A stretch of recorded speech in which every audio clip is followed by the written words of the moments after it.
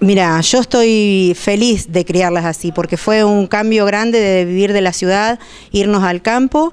Fue una decisión eh, bien pensada, o sea, bastante madurada, digamos.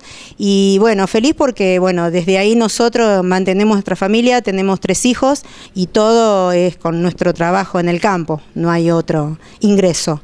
Entonces, más que feliz, y porque ellos también eh, se criaron feliz. Son, eh, a ver, estamos muy comprometidos con el campo, con la vida vida sana.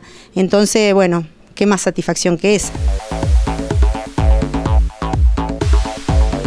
Son las premisas que hay que tener para crearlos sanos, bien alimentados y en libertad? Y uno se siente una satisfacción enorme porque ellas eh, vamos temprano, que le damos el maíz, eh, luego de poner que al mediodía ellas ya salen, le abrimos un rato la puerta para que ellos puedan pastorear, si bien en su mismo entorno, en su gallinero, tienen pasto y todo, pero le abrimos para que ellas puedan eh, salir un poco, salen, corren, bueno, ellas duermen bien, comen bien, picotean, lo que por ahí les puede faltar, si bien le damos maíz, arveja, ellas van picoteando lombrices, la tierra, eh, están sanas. ¿Y les cuesta mucho colocar la producción de estas gallinas ecológicas?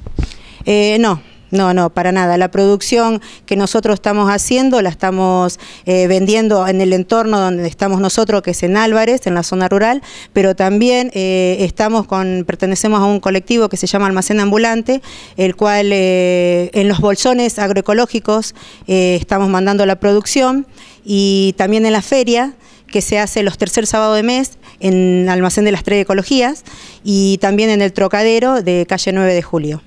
Sí, sí, ahí estamos con nuestra producción. ¿De huevos?